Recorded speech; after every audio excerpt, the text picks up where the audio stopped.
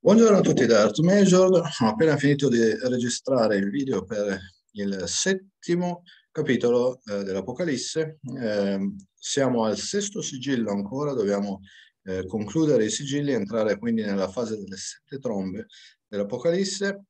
Condivido lo schermo e andiamo così a, a leggere assieme a proposito dell'ottavo capitolo, vedete 13 versetti. Poi dice, e quando aprì il settimo sigillo si fece silenzio in cielo per circa mezz'ora e vidi sette angeli che stanno dinanzi a Dio e furono date loro sette trombe.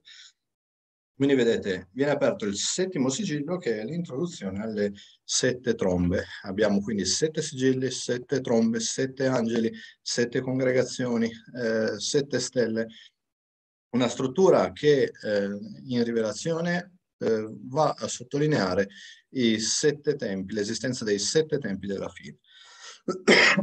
eh, questa struttura, questa organizzazione di sette sigilli e durante il settimo sigillo si aprono le sette trombe, non vuol dire che le sette trombe facciano riferimento tutte quante al settimo anno, ma è piuttosto una struttura ripetuta che eh, evidenzia ancora di più la durata dei sette tempi e ci ricorda per esempio ciò che succede, successe a Gerico quando eh, l'esercito di Israele dovette fare eh, un giro attorno a Gerico per sei giorni e il settimo giorno dovette fare sette giri.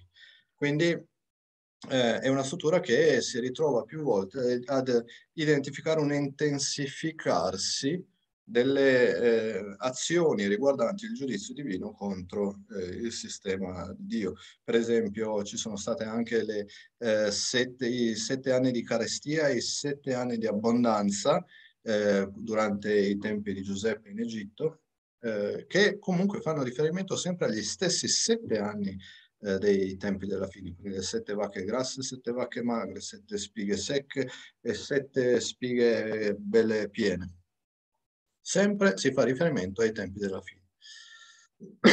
Quindi poi qua si dice, arrivò un altro angelo e stette presso l'altare, avendo un vaso d'oro per l'incenso, e gli fu data una grande quantità di incenso per offrirlo con le preghiere di tutti i santi sull'altare d'oro che era dinanzi al trono. E dalla mano dell'angelo il fumo dell'incenso ascese con le preghiere dei santi dinanzi a Dio, ma subito l'angelo prese il vaso dell'incenso, lo riempì del fuoco dell'altare e lo scagliò sulla terra e ne seguirono tuoni e voci e lampi e un terremoto.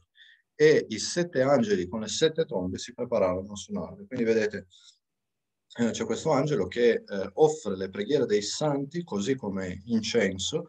Eh, questo sta eh, un po' a ricollegarsi con ehm, l'espressione di Ezechiele quando descrive l'uomo con il calamaio, che dice che il segno di Dio viene dato a coloro che gemono, no? quindi coloro che continuano a pregare Dio affinché le ingiustizie di questo mondo cessino. E dice che eh, subito l'angelo prese il vaso, lo riempì del fuoco dell'altare, lo scagliò sulla terra. Ne seguirono tuoni, voci, lampi e un terremoto. Allora siamo all'inizio delle sette trombe, alla fine dei sette sigilli, quindi il settimo anno, la fine, la distruzione del sistema, con tuoni, voci e lampi, quindi il giudizio divino finale, la grandine finale, quindi il giudizio contro questo sistema di cose, un terremoto, cioè la separazione definitiva tra cose buone e cose cattive, la divisione tra pecore e capri, eh, perché il terremoto è il, Dio che scuote il sistema per trarne fuori ciò che eh, rimane di, di, buono, quindi un rimanente. E, e, poi quindi si comincia con le sette trombe dal versetto 6. Andiamo avanti col versetto 7, qua dice il primo suonò la sua tromba e vennero gran, grandine e fuoco mescolati con sangue e furono scagliati sulla terra e un terzo della terra fu bruciato e un terzo degli alberi fu bruciato e tutta la verde vegetazione fu bruciata. Quindi qua si incomincia un po' dalla fine, no? con una visione simmetrica eh, rispetto ai sigilli, che è una costruzione tipica delle scritture, cioè una simmetria nei tempi, e qua vedete si parla quindi già della grandine, quindi del giudizio finale, eh, del fuoco mescolati con sangue e dice che un terzo della terra fu bruciato, cioè un terzo della terra esce è l'effetto del terremoto, un terzo degli alberi, gli alberi sono i servitori di Dio, fu bruciato, tutta la vegetazione fu bruciata. Quindi un terzo degli alberi, eh, quindi un terzo del popolo di Dio si separa dagli altri tutta la verde vegetazione. La verde vegetazione sono coloro che eh, si separano, no? quindi coloro che continuano a far parte del popolo di Dio. Quindi tutti quanti vengono bruciati, tutti quanti muoiono rispetto al sistema. Versetto 8. E il secondo angelo suonò la sua tromba e qualcosa come un gran monte infuocato fu scagliato nel mare e un terzo del mare divenne sangue, un terzo delle creature che sono nel mare e che hanno anima morì e un terzo delle navi fece naufragio. E quindi qua si parla di un monte, un gran monte infuocato che richiama alla pietra che colpisce la statua di Daniele. Eh, Daniele boh, dovrebbe essere capitolo 4, eh, quindi da un gran monte si, si stacca una pietra che, che, colpisce questa statua ai piedi e la distrugge e va a fornire, uh, a costruire un altro, un altro monte.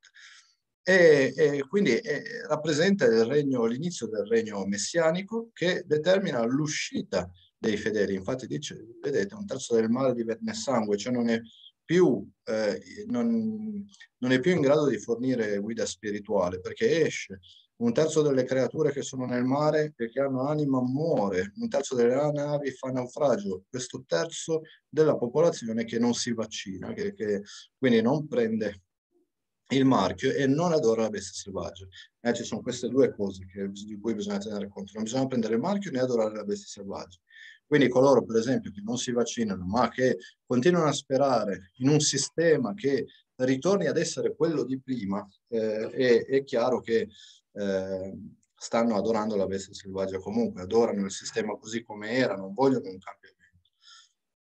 Quindi queste persone, quelli che si vaccinano, sacrificano la loro vita per il sistema, perché spesso chi si vaccina sa che gli effetti collaterali possono essere tremendi, ma è disposto a sacrificarsi per il sistema, per continuare a viverci dentro. Chi invece non si vaccina ma va a manifestare va nelle piazze, si sacrifica per un sistema che era quello vecchio, che comunque era il sistema di Stato. Versetto 10. Il terzo angelo suonò la sua tromba e cadde dal cielo una grande stella ardente come una lampada e cadde su un terzo dei fiumi, sulle fonti delle acque. Il nome della stella è Assenzio e il terzo delle acque si mutò in Assenzio e molti degli uomini morirono a causa delle acque perché queste erano state rese amare.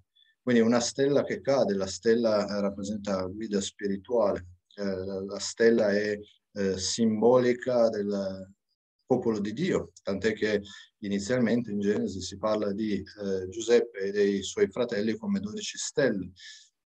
Quindi un una stella che cade rappresenta la caduta delle religioni eh, che eh, a causa di questa caduta continuano a fornire acque, cioè eh, cibo spirituale, cioè guida, nutrimento alle persone che però è amaro. E quindi un, eh, dice un terzo delle acque si mutò in assenzio. Eh, quindi le religioni vengono rese amare, incapaci di dare guida spirituale. E il quarto angelo suonò la sua tromba, dice il versetto 12, fu colpito un terzo del sole, un terzo della luna, un terzo delle stelle, affinché un terzo di essi si oscurasse e il giorno non si illuminasse per un terzo e similmente la notte.